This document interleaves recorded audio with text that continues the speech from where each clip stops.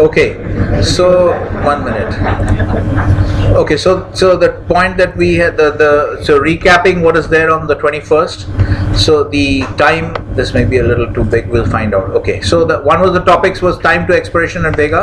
Okay, so longer dated options have higher vega. So if you if you get your eyewall view correct, the benefit, the secondary benefit, incidental benefit, let's call it an incidental benefit. An incidental benefit is the fact that you get an uh, extra bang for your buck because the longer dated option will have higher vega than if you had bought a shorter dated option. Okay, so now the other point, so this point is clear. Now the other point that uh, we had discussed on the 21st, where we don't have the, uh, is position sizing. Actually, we can copy this.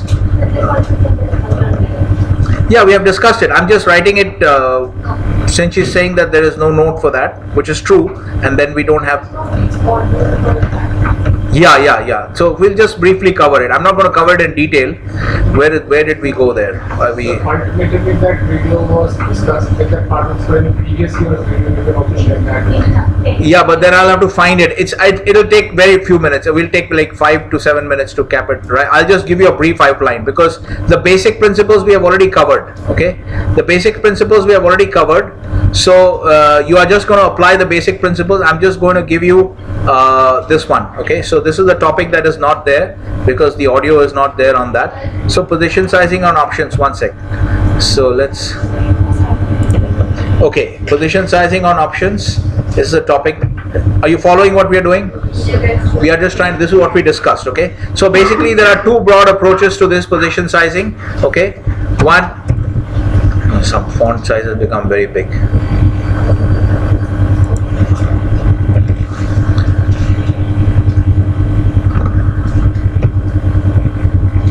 Okay, so uh, the first point is, the first way is that we, uh, what we do is, assume uh, option held to maturity because we are talking about so position sizing is based on risk okay? Position sizing is based on risk assess i mean it's uh, it's based on as you can see even this is what we did in our on, uh, in our spot trading also.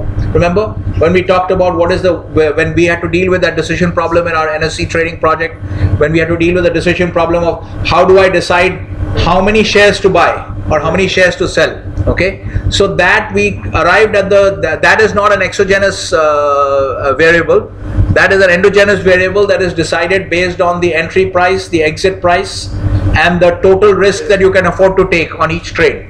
Remember we have all those calculations in our notes okay? The formula in our notes okay? What we have uh, you know how to arrive at those uh, uh, calculations. So it's it's uh, so that's the uh, the so that same principle that we are going to use there. So in any situation where we have okay this we can close now okay. I think recording should be on. Yeah it's on. Okay. Let me open your um, okay we'll have we have too many tabs on that one. So let's open your calc file and we'll have so we have uh, different uh, models for calculating that. Okay. So for, for calculating the position size. The same principle we are going to use here also in a position sizing for options. So the first, uh, so there are two broad options uh, to prove two broad alternatives. Uh, we won't use the word options here. So uh, the first alternative is to assume that the entire the option is going to be held to maturity and it's going to expire worthless. Okay. So uh, why did I say it's based on risk? Because when we calculated our position size even for spot trading, what was driving our calculations? Because remember and one of the exogenous variables was the total dollar amount that we can afford to lose. Remember here if you looked at uh, some of your trade risk calculations okay the position size was coming out of uh, the position size was being driven by the average risk per trade okay? This is the system edge.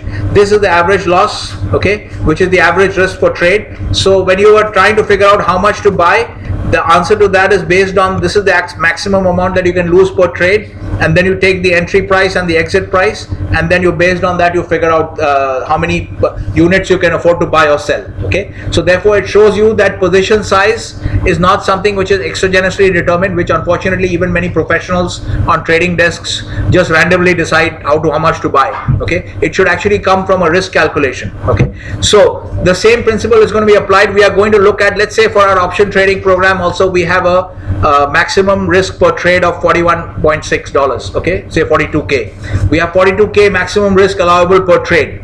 In this case when we buy options so when you're talking about position sizing for options we are going to basically assume option held to maturity and we are going to assume that it expires worthless okay? So in this case we will buy okay max amount to spend on premium equal to max loss per trade okay? So the max loss per trade comes from remember you saw that calculation earlier? Not here. And you know how this number is derived? You remember that? That you have you basically make some assumptions about your trading system what's going to happen some ex ante calculations any given period quarter month year, five years, whatever it is, for that period you have to estimate number of trades. You have to estimate total percentage losing trades. Okay, that gives you a total number of losing trades. Okay, and then you have to look at your risk capital. What is your risk capital? You have five million of risk capital okay so you should trade in a way so you make the worst case assumption because you want to come out with some deterministic answers okay? Remember deterministic versus probabilistic.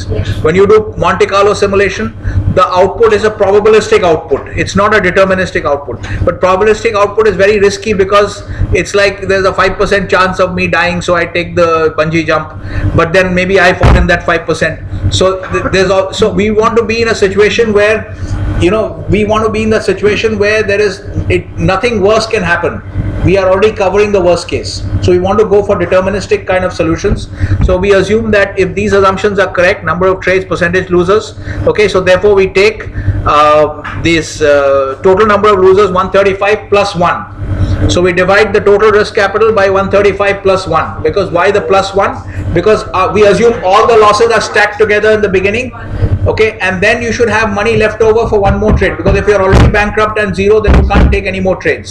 So you must have money left over. But if according to your calculations there should be no no more losses. So now it's all profits okay? So that's why this is how you arrive at this number okay? And this guides your position sizing eventually okay? It guides your position sizing. So therefore here what we are doing is we are connecting that maximum position size on options one minute i'll just I'll just finish this point.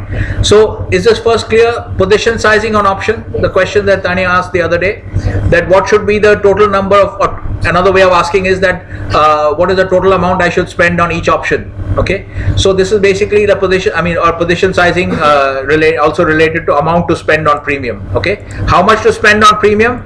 The amount should be based on maximum loss per trade. So it should be equal to the maximum loss per trade. Is this clear? Okay? All right so so uh, so this is the amount that you so here we are assuming what we are assuming here is when we equate it to the maximum loss per trade we are assuming that we are going to hold this option to maturity and it will expire worthless. Okay why do we think like that? Because when we are doing risk planning we always assume the worst case. We don't think about the good times because the good times we don't need to plan for the good times. Your planning is only for the bad times right? So we therefore we make this kind of assumption. This is one assumption. Yeah yeah what is your question anju maybe use the mic do we have the mic? Garvit?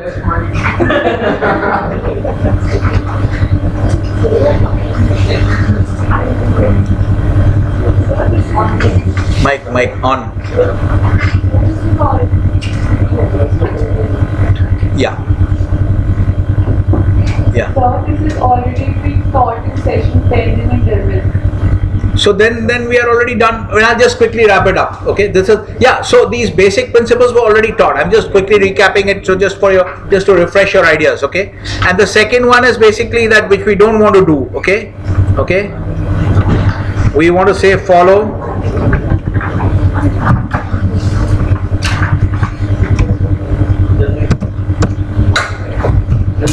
Okay so is this clear? We say that we you follow one above and this no i'm just one minute i'm just uh, taking care of the fact that there are no notes, there is no audio for that day. Okay, but the basic principles have already been covered. Okay, and the reason I said that follow one above, don't follow number two, is because number two is basically assume. Here again, you will end up with some probabilistic kind of estimate.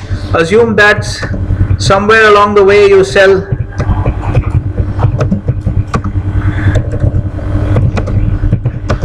option is sold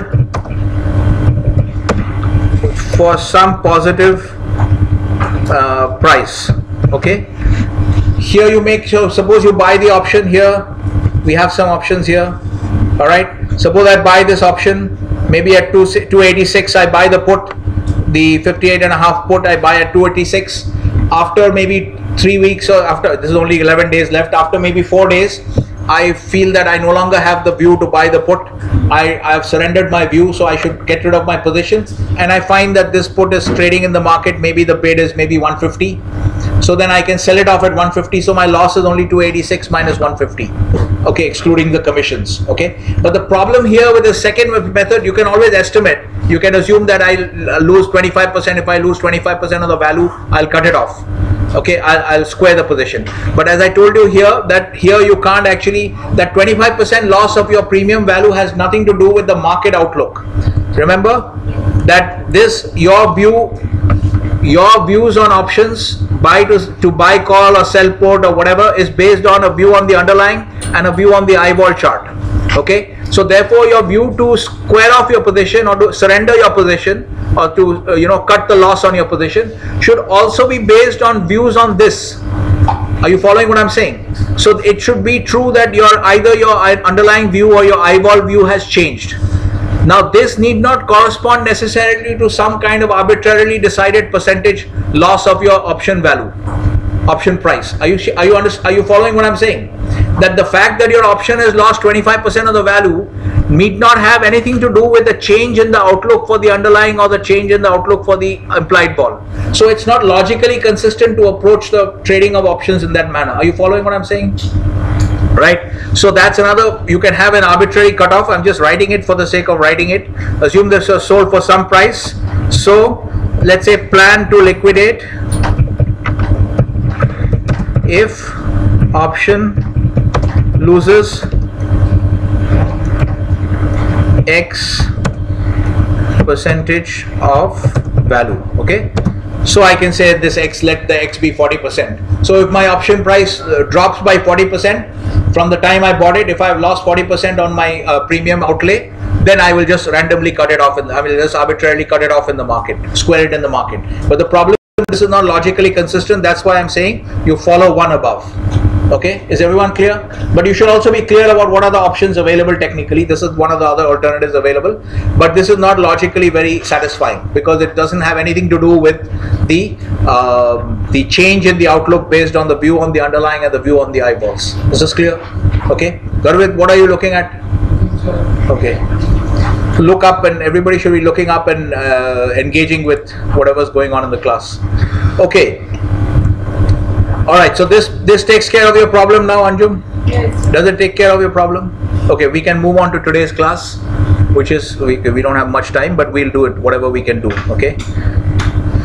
So we are at positions versus synthetic and, uh, and so as I told you figure 1.2 you will find at figure 1.2 you will find the long underlying and short underlying uh, charts as well okay? So we had done uh, we'll just quickly run through this okay? Uh, let's go through this and which which chapter is this which chapter is this? Which which? 12.2 12.2 okay. So we are in 12.1 okay. So we have this is uh, yeah so the entire figure is over here so you can see. So please make sure you practice with otherwise you will not be able to internalize all this stuff okay? So you can see here what is happening here the dotted lines. Everyone can make out the dotted lines and the solid line.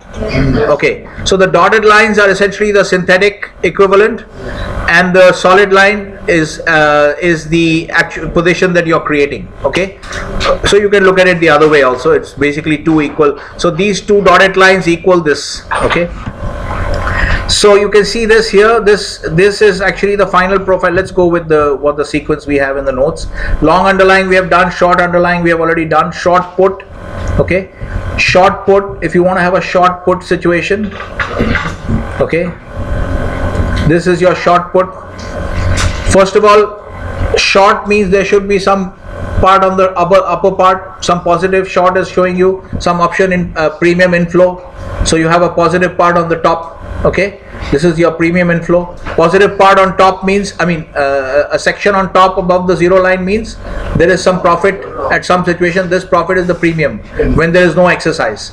So short this has to be some kind of short position. Now is it short call or short put? We can see that but you're starting to lose money as the market falls below the strike price. So this must be a short put. Okay? So the short put can be recreated by essentially you can whenever you're thinking about this you have to uh, take it step by step. Take it on either side of the strike price. Take it step by step. The first part is you got to create a situation where you keep losing money on the as the market drops okay? So the one of the ways you do that is by taking the long stock position.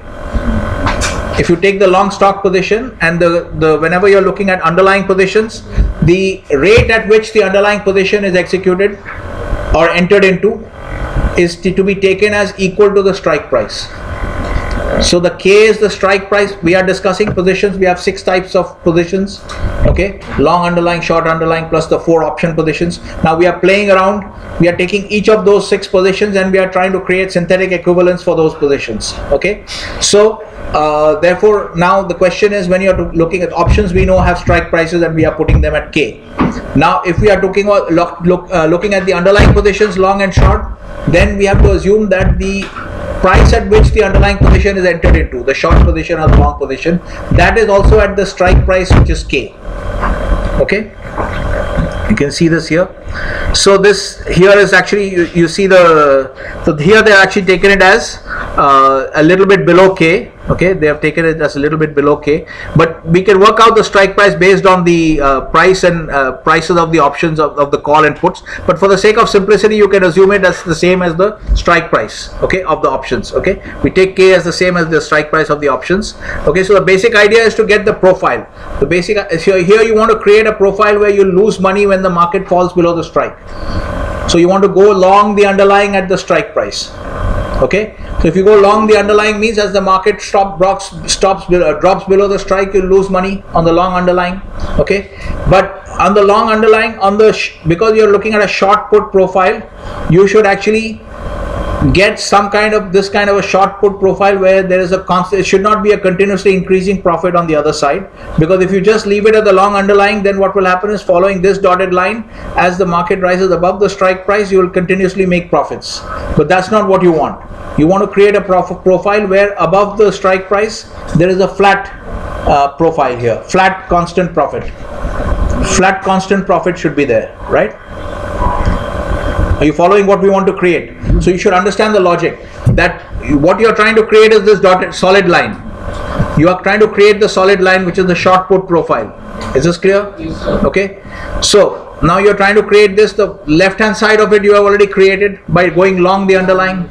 Okay. So you've created this, but now the problem is if you're long the underlying, the when it goes above the strike, you're constantly making money on the underlying as the market is going up now that's not what you want. You don't want a linear increasing profile like this. You want to cut it off. Here, you want a, uh, a kink in this curve here. You want to basically make sure that this part is constant here.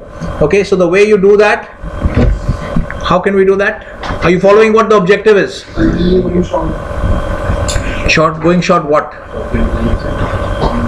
If you go short the underlying then what will happen is your long underlying and short underlying will cancel out completely and then you will have no position you can't go short the underlying. You can't go short you follow what i'm saying? If you go short the underlying then the long underlying and the short underlying have completely cancelled you have no position left. So you want to do something else to make sure that the above the strike price you don't have this continuously increasing profile so what do you is are you following what we are doing? Yes, Make sure you follow step by step. Okay. What what we are trying to do. This is clear. Okay. What happens, Surbi? You're not engaged in the class. You're looking down all the time. Are you following? So look at what is being taught on the board. You're not. Are you not feeling well? Okay. All right. Okay. So, um, so you want to basically make sure that we don't get this profile because with the long stock position, we are just getting a as the market rises above the strike price, the profile is increasing, the profit profile is increasing in a linear fashion. We don't want that because we want to basically create this kink and create a constant profit. It should not increase in a linear fashion along with the increase in the market price, right? So we have to find some way to eliminate this continuous upside which is happening this proportional gain that is happening in the long stock position we want to eliminate that somehow so that we can actually end up with a flat constant profit. Are you following what has to be done aurora? Are you following the logic? Yeah? What we are trying to we are trying to decompose how you construct synthetic equivalents right? We are trying to construct the synthetic equivalent of a long put position short put position sorry okay? So one part we said is okay we want to we want to go long the stock so that the left hand side of the profile will be taken care of. If a long stock then market drops below the strike price then we will continuously lose money in a linear fashion. That's fine. What about the right hand side of the profile? How what can we do Short, short, short, short short. short what So we just want long all. what is your objective your objective is to eliminate the profit that is happening above the as the market rises above the strike Short put, short. One one sec one sec. Let's be very clear about what we are trying to do. We want to eliminate we want to eliminate the profit that is happening in the uh, long stock position as the market rises above the strike. We want to make sure that this linear increase in the profit profile because of the long stock position does not happen. We want to eliminate that. So but we can't surrender the long stock position. We have to do something else so that it offsets. Yeah who said short call yeah, so think about it. If you sell a call at the strike at the same price where you're long, what happens? If you're long a stock at 100 and you sell a call at 100, You have to buy. then all the upside above 100 you are essentially giving up. When if you sell a call, let's say you're long stock at 100, okay, that is basically creating this profile where you're going when you're long stock at 100 as the market price keeps on increasing, your profit keeps on increasing, okay but you don't want that. You want to see when the market rises above the strike you want to just cut it all off at a constant profit and just eliminate the remainder of the profit. This linear increase you want to eliminate. So the way one way you can do that is by selling a call. If you sell a call at the same strike at which you're long essentially what will happen is as your long stock position will make money as the market rises above the strike but all the money you are making on the long stock position is all being eaten up by the short call because the short call means when the market goes to say 140 hmm? Uh, sir, if we will be buying the uh, short call, sir, we will not be using any uh, time. how can you buy the short call Sorry, sir. If we will be going, if we, uh, if we will be buying the option that you said. Sir, no no no one minute i said short call pulkit said short call Yes, sir. so So, sir. we can't we, you can't buy a short call Yes, sir. you can't buy a short call either you go short the call or you go long the call you can't buy a short call you can say execute a short call Short call, sir. Uh, then we will not be uh, losing any, sir, as you told that uh, we will not be losing timing value. So the, you are, yes, sir, you are saying uh, the graph should go like No, no, this is now we are not talking about time value. These are expiration diagrams. These are expiration diagrams, so there is no time value left. Okay, we are talking about expiration diagrams. This is a scenario analysis at expiration, where K is the strike price. Let me do the plotting for. Let me draw uh, plot the chart for. Okay, what if the market price is here? What if the market price is here? What if it is here? What if it is here? What if it is here?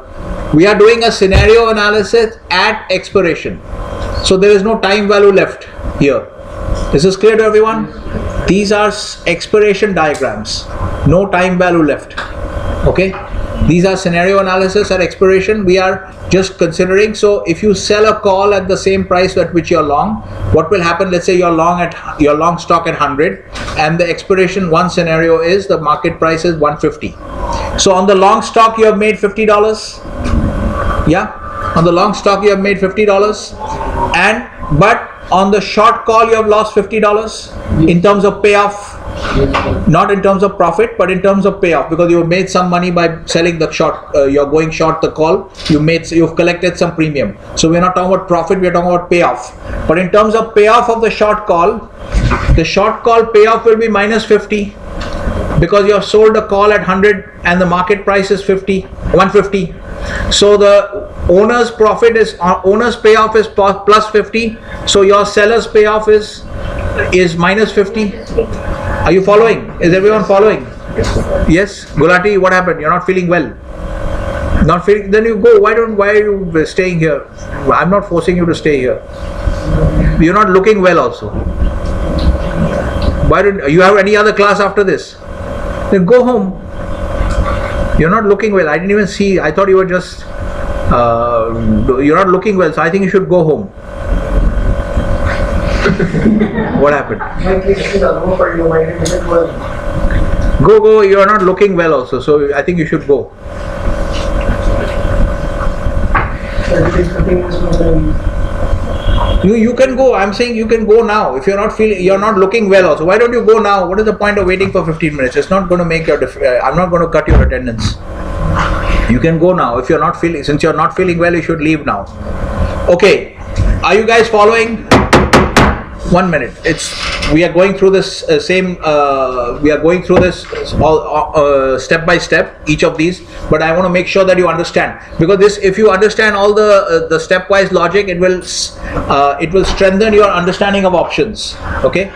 So is this clear? Okay one minute one sec she is going now okay. There's a constant parade of people yeah because nowadays in the cat you know that in the cat how long is the cat now? Three hours? sir. you're not allowed to take any toilet breaks during the cat you know that? So so but i noticed that in the class you're always going out. If one person comes out another person goes out. Okay. So um, all right so is this clear now the first one we are dissecting the first one we want to make sure that everybody understands everybody has to understand if you don't follow at any step aurora what is happening you're looking down are you following what is being discussed yeah, you're trying to, but if you don't follow, then you have to interrupt me at any point of time. Okay, I've told you the questioning aspect does not change. You're still required to ask questions. In this case, sir, there will be some assumptions also. What assumption? Sir, um, sir, how will the, sir, I am not able to understand how will this line go straight?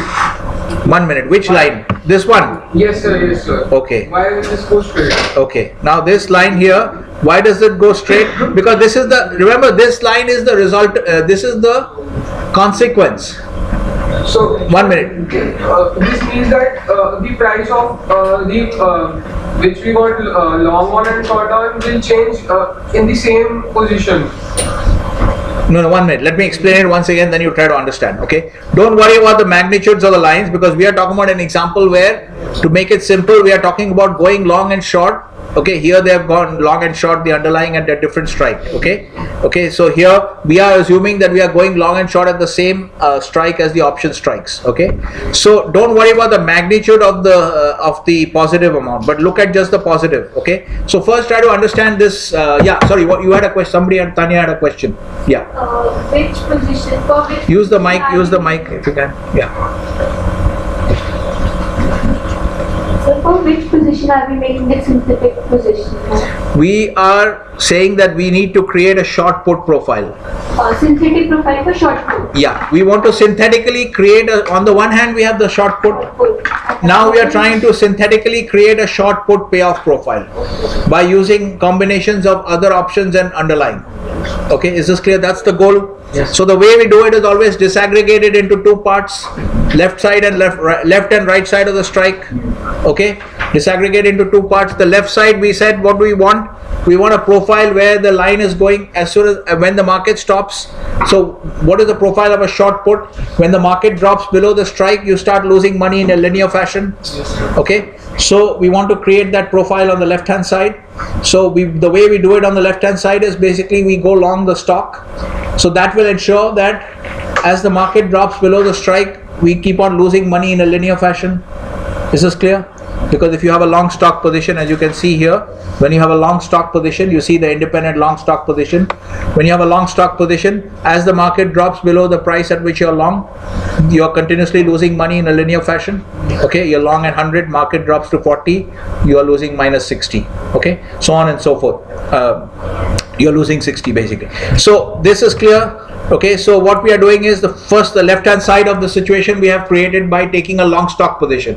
But now the problem of the long look at the other side of the story with the same position that you have taken. The first part you have taken is a long stock. The problem with the long stock position is that when the market rises above the strike when the market rises above the strike, the long stock position is making money in a linear fashion and is creating the basically long stock position. At the moment, you have only got a long stock, you haven't taken the next part. So you got this kind of profile. This is not good enough for you because what you want is this kind of profile. You want this dotted, the solid line.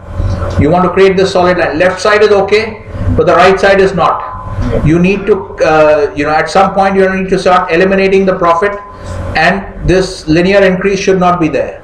So the way you do that is by selling a call. You have to think of what kind of what should i do to ensure that as the market rises above the strike i keep losing i keep losing money in a linear fashion. Because what are you trying to eliminate? You are trying to eliminate this phenomenon where you're making money in a linear fashion. You want to get rid of making money in a linear fashion? The way you get rid of that is by you make sure you lose money in a linear fashion. Right if you want to get rid of the situation of making money in a linear fashion you do something to ensure that you lose money in a linear fashion. That will eliminate that profit okay? So therefore what you do and how do you lose money? By using this time you think about options you go short a call. If you go short a call you have this kind of situation. What is this? You see the short call. As the market rises above the strike the call is continuously losing money. And so this continuously making money on the long stock gets totally eliminated by continuously making money on the sorry this continuously making money continuously losing money. So all the excess profit is wiped out above the strike. Is this is clear? And you're left with as i said don't worry about the magnitude because that is we have assumed different rates at which you are long the underlying. Just look at here also you have a long you look at it the fact that it's above the zero line so it's a profit. Okay? So this profit basically this profit comes from the profit. Remember you're going short a call you're going short a call so while you lose money above the strike price you will be getting some upfront premium. Yes. that's your profit in a situation and that situation is basically where it's uh, when the market is below the strike the call is not exercised. So it proportionately reduces the loss that you have on the uh, on the uh, on on your long stock position okay? So therefore you see the the situation here on this. So you can see from the short call which gives you a premium outlay just focus on the fact fact that it's above the strike so are you following the thinking that needs to go in? That on the one hand we are, you have been told some position long underlying short call whatever. Some position is given to you. Now you have to create the the the synthetic equivalent of that using some other combination of options and long uh, underlyings long short whatever. Okay? So first you should draw the uh, position that is that you're trying to recreate. Now let's do this. What kind of position is this? The black line? What is the black line? We'll do it one more time. What is the black line yes i'm getting long yeah. Long put. It's a long position. Straight away you can see it's a long position because the black line is below the zero line so there's a part where there's a constant loss. So that must mean the loss from the premium payment okay? And there's no exercise. So it's obviously a long position. Now question is whether long call or long put okay? So this must be a long put because it shows that you're making money in a linear fashion as the market drops below the strike. As the market drops below the strike. Yes? Okay? So therefore this must be a long put. So now you know that on the one side you have the long put. Now you have to recreate the profile of a long put. Again go left side right side one by one. Left side how do you create a, profile situation where you want you want to see a situation where above the strike you're making money in a linear fashion uh, i'm sorry not above this as the market drops below the strike. As the market drops below the strike you should make money in a linear fashion. Okay? How do you do that? You go short stock. Okay? If you go short stock you can see you have this kind of profile which you see here, short stock. This is short futures, okay, same thing. Short underlying, linear instruments, futures, stock, uh, spot instruments, stock, okay. Short stock will have this kind of profile. So this takes care of the left side of what you're trying to generate.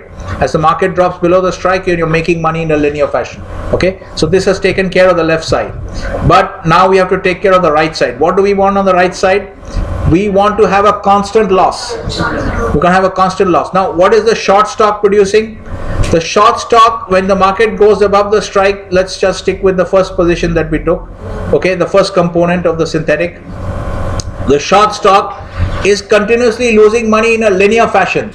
Okay, losses proportionately in- increasing as the market goes above the strike. We don't want that. We want some loss, but we want it to be capped at a certain level.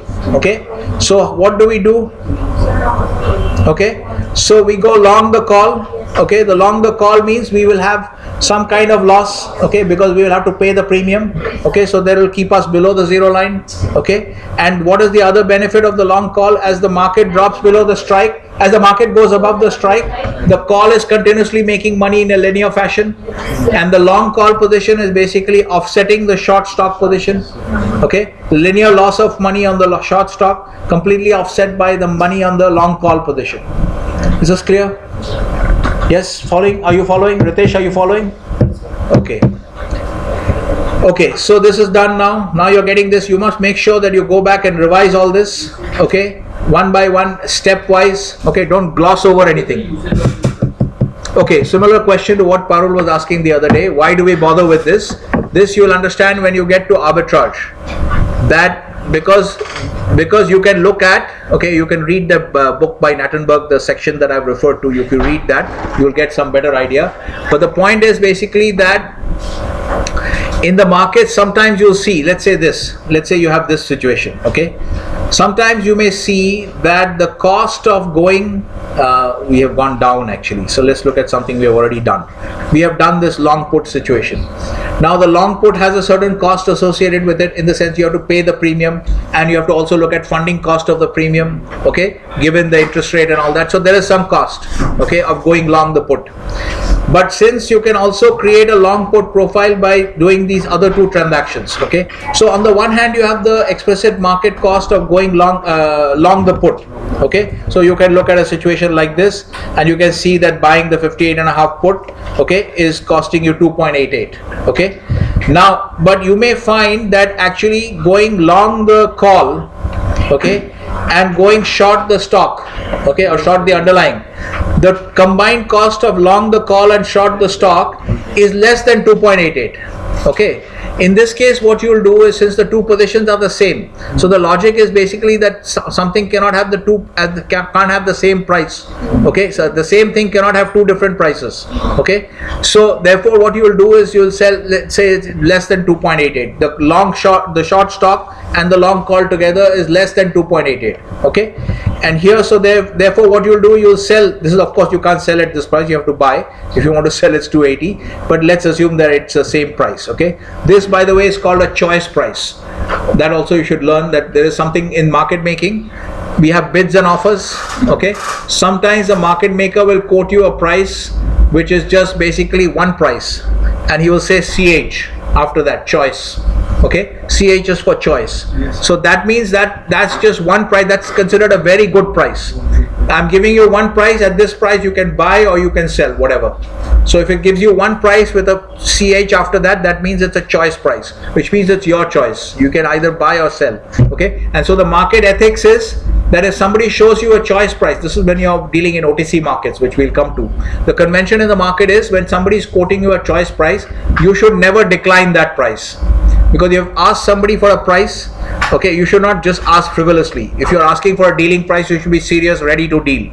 And somebody quotes you a choice price you should not decline that price. You should deal on that price. Otherwise it's considered unethical okay I mean, basically unprofessional to not deal on a choice price. Okay, so is this clear? So, uh, good question again. Same question that Parul was asking. What is the point? The point is basically because sometimes you may see situations in efficient markets It's difficult to see them, but it is possible. This is what arbitragers do. Remember, we had a third category of market participant, okay, which you will find in your textbook also. There's some discussion of that. So, arbitragers, this is what they do. They look for situations where the same thing essentially okay? The synthetic equivalent of something and that something itself. They are trading at two different prices. So there is an opportunity to to earn an arbitrage profit. Here what they'll do is they'll sell that 288 put okay? And they will buy the, they will go short the stock and buy a call. And the total cost of the short stock and long call will be less than 288 so that balance they will pocket and they'll have no risk. Because remember the profile is the same okay? The profile is the same. So if you're just looking at one side if i have short something and i have a long call basically i have no net exposure because the long call is going to cover for my losses on the short stock.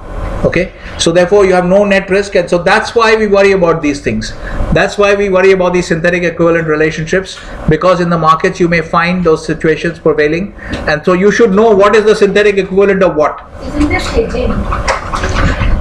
You could say it's hedging in the sense that once you sell the uh, you could say this is once you sell this uh, once you sell the 285 call which uh, the put which is too expensive compared to the synthetic equivalent price okay? And then you uh, buy this it's you could say it's hedging but it's not a very uh, good term because hedging we have a we different category of people who who's a, uh, who are hedgers okay? So hedging has this is really more arbitrage okay? This is called because it's simultaneous. Okay? So, so hedging problem with hedging using a term like hedging is hedging can sometimes happen uh, where you're in hedging you have to look at the concept of underlying position. Okay? Underlying position and the hedge position. Now the hedge the underlying position can remain in place. The underlying position can remain in place for quite some time without any hedge. So the hedge position need not always come into place at the same time that the underlying position comes into play. That's why we don't want to use the word hedging here. Because here this is a case of arbitrage. So uh, Ritesh, just shut the door. Even the whatever time we have, just shut the door. We don't want even two minutes. Okay, is this clear to everyone? Yes. I'll just quickly wrap up. Okay, I'll just quickly wrap up here so that we can go on to the next topic in the next class. Okay, which is what are we trying to create? Any question? Any? Yeah. How frequent this happens? Like, it is a uh. How frequently do the prices go out of line? Yeah, that's what I was saying. That how frequently is the price of the synthetic equivalent different from the price of the uh, the the other thing, which for which we are looking at the synthetic equivalent. So this, I can't give you a clear cut answer to this because we don't know. It may happen. That's why arbitrageurs exist. Okay, they are always looking at synthetic equivalents versus the actual thing. Okay, so therefore, uh, but it's impossible to answer your question that how frequently it happens. In the sense that how frequently does the sun rise every 24 hours? I can give you a clear answer. Here, I can't give you a clear because it depends on the market. Okay, but sometimes it happens, and that's when arbitrages come in. Okay. All right, so we have one minute. We'll try to finish something here at least. Quickly, I'll just wrap it up quickly. You can understand it later on on your own. Okay, we are trying to create what is this position here? Black line, long call. The black line is a long call. Below this, rising above profit, rising above the strike, long call. The black line. This is your pro- profile figure number 2.1, figure 12.1 in your textbook. Okay, you can read this again and follow it up. Okay, long call. And then uh, you can see, I'll just take two minutes extra, Garvit. Okay, with your permission. Long call, we want to create a long call. Left side, we want to have a situation where everything cancels out. There's only a small loss. Okay, so we can buy we can buy a put which will make money above the above uh, as the as the market falls below the strike and we can offset that with a long stock position. So below the strike we'll have a constant loss small loss because on the long stock position we'll lose money as the market drops below the strike okay? Yes, sir. and on the long put we will make a corresponding amount of proportional profit so the losses on the long stock position below the strike will be made up by the gains on the long put position. Is clear? Okay. So is this are you following? We have to figure it out this way? Okay. Now on the other side we want to have a constant profit uh, we want to have a pro- proportionately increasing profit linear profit profile above the strike. For that we have the long stock because the long put will just have a constant loss and the long stock will continuously make money as the market goes up. Are you following? And the last one you can uh, manage it on yourself, on your own. I think you can manage. The last one is what is this profile? The black line. Yes, short call. Okay, short call. First, ask yourself, what can I do to create this constant loss, uh, to linear loss profile above the strike? I go short the stock, okay, and then but on the other side, the short stock will continuously lose money, uh, will make money that I don't want. I want to cut it off, okay. So then I go short the put. The put will offset this. This is clear. So this topic is over. Next class we'll go on to historic vol- historical volatility, not historic. every case we are doing the same thing for the other two sectors. Either uh, longing it or shorting it. Don't say longing it. We are going short or going long. Don't say longing it. No, we are not doing the same thing. We are not doing the same thing. We are asking the same kind of question. Don't say we are doing the same thing because you are not actually doing the same thing all the time. You are asking the same kind of question. That is, what do I need to eliminate this profile and get what kind of profile, get the profile that I want. Are you following? Yeah?